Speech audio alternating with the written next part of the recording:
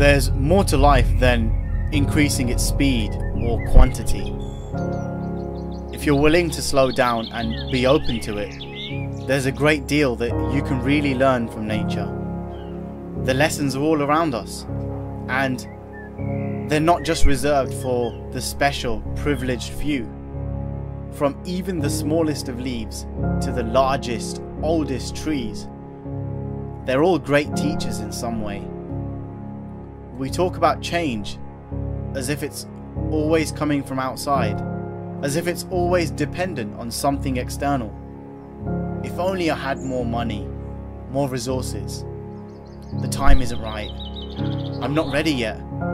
But all of these things, they focus on external things, external reasons why change isn't possible. The focus is on the outside.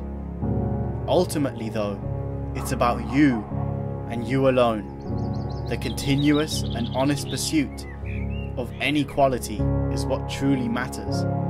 Because if you search long and earnestly enough, you will find what you seek.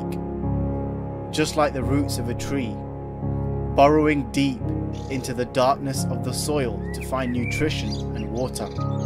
It doesn't have a map, it doesn't have a guide, but it finds its way, trusting itself to create light from within to find the way, trusting its thirst for growth.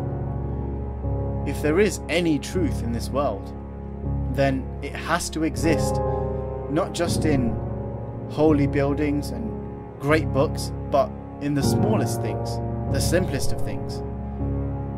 You can learn just as much from observing a tree or a leaf or from a stream of running water as you can from the oldest and most ancient scriptures that we have. I mean, look at the way nature is constantly changing, evolving, and adapting. Isn't life like that? Look at the cycles of seasons. Everything goes through constant growth, then constant decay, ups and downs, peaks and valleys. Isn't life like that? Look at water.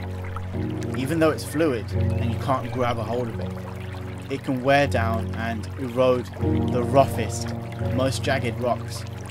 Yet, it remains flexible, malleable, and adaptable. What if you tried to be like that in your own life, in your relationships, adapting like